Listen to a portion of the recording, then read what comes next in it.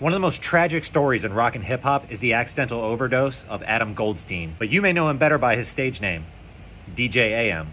Up to the point of the fatal plane crash that he was involved in with Blink 182 drummer Travis Barker, DJ AM had been sober for 10 years. How did that event and the filming of MTV show Gone Too Far help contribute to the untimely death of DJ AM? Barker and Adam Goldstein, also known as DJ AM, had been visiting Columbia, South Carolina for a gig near the University of South Carolina. After performing the show, the two, joined by friends Chris Baker and Charles Still, boarded a small private jet bound for California. However, the aircraft never made it off the ground.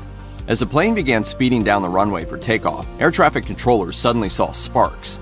The Learjet then began to veer off the end of the runway. It crashed into a perimeter fence and crossed a roadway before slamming into some mounds of raised ground.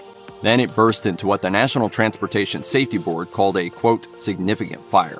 Tragically, Baker, Still, Lemon, and Bland were all killed in the crash while Barker and Goldstein suffered second and third degree burns. The stage name DJ AM is short for Adam Michael. He had wanted to be a DJ since he was a kid, and he started performing for friends at private parties. He eventually worked his way up to playing clubs in the Los Angeles area. This is where he met Shifty Shellshock from the band Crazy Town. Yes, DJ AM was a part of the 2000 hit Butterfly from that band. Come, lady, come, come, lady, According to Shifty, he was one of the only sober members in the band at the time. He ended up quitting the band because of all the drug dysfunction. You see, DJ AM had already had a checkered past with drugs and alcohol. Began drinking alcohol at the age of 11 and was a heavy drug user by the age of 16. While attending rehab as a teenager at Straight Incorporated, he was physically assaulted by staff. He ended up attacking a counselor and was indicted and released from rehab before his 18th birthday. He continued using party drugs and even while falling in love with the art of DJing. He's quoted as saying, All I did for four years was DJ and smoke.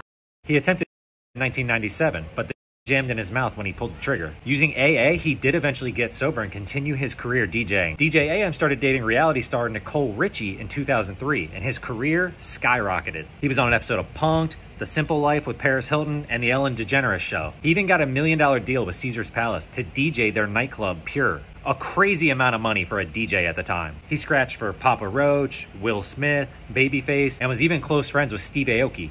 He started collaborating with Travis Barker in June of 2008 under the name Travis DJ AM. They even played the MTV Music Awards that year. But later that month, on September 19th, they were on a private jet that crashed at takeoff. The crash killed both pilots and two other passengers on board the plane. The only survivors were DJ AM and Travis Barker. I was ripping off my clothes because that's what my instinct told me to do, but I was still on fire because I was soaked in jet fuel. A driver happened to witness the crash and rushed to their aid as Barker and DJ AM tried to put out the flames. There were two people out of the plane. We're going to presume that was Travis Barker and DJ AM, both trying to put the flames out on each other. They both experienced third degree burns, post traumatic stress, and trauma from the incident. And DJ AM was prescribed anxiety and pain killing medication. After skin grafts and extensive rehabilitation, the duo performed three months later at the Los Angeles New Year's Eve party. Now remember, DJ AM had been sober for almost 10 years. At one point, he even said, At any moment, I'm five seconds away from grabbing someone's drink, downing it, and I'll be smoking one week later. At the same time this was happening, he was filming a show for MTV called Gone Too Far. It was an intervention type show that tried to help people with their addiction. In the show, DJ AM literally holds a and has to walk out because he says it was way too real. In the weeks before his death, his behavior had become erratic and he started missing appointments. His manager and sponsor were so concerned, they flew to New York to see him. While he did not want to see his manager, he did allow his sponsor to come in and then used in front of him. He promised to check himself into rehab after his next gig, but after not returning phone calls, his friends called the police and he was found dead in his apartment August 28, 2009.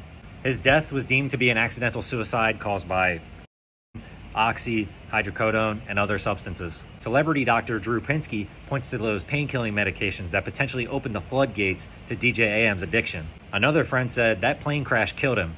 It just took a year to do it. DJ AM's sister set up the DJ Memorial Fund to help people with drug addiction. After his death, they auctioned off things like his record collection and his sneakers in order to raise money for the fund.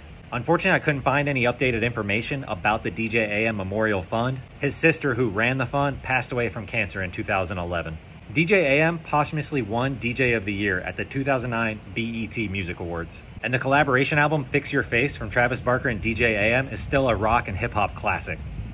I mean, I guess I, I get why they call it post trauma because it, you know, it, it, it was very tough and it's, I have really bad days and I have okay days, you know, it's, it's strange, you know, but I mean, I'm blessed, I'm alive, I'm here.